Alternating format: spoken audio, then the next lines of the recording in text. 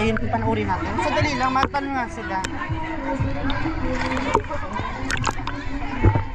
Thank you.